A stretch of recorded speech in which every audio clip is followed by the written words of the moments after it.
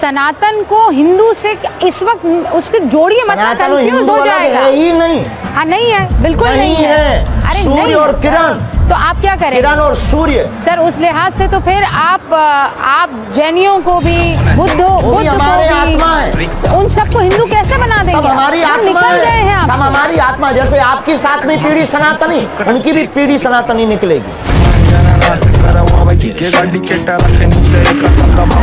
सिंह का बच्चा सिंह होता है कीचड़ का बच्चा कीचड़ होता।